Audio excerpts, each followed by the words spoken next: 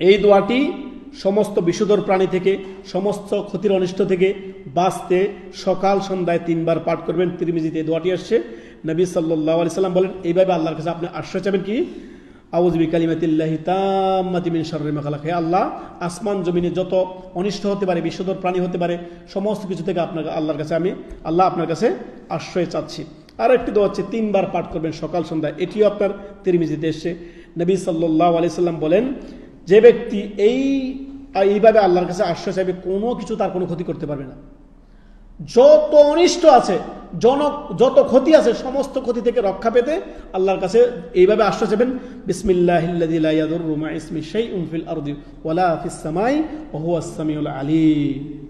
আকবার। আসমান জমিনে কত অনিষ্ট হতে পারে? কেউ উপর থেকে কিছু পড়ে মারা যাচ্ছে। আবার কেউ নিচে থেকে কিছু একটা আপনার উদ্ভূত হয়ে মারা যাচ্ছে। এক একজনের মৌত এক- এক- এক- এক একভাবে আসতেছে।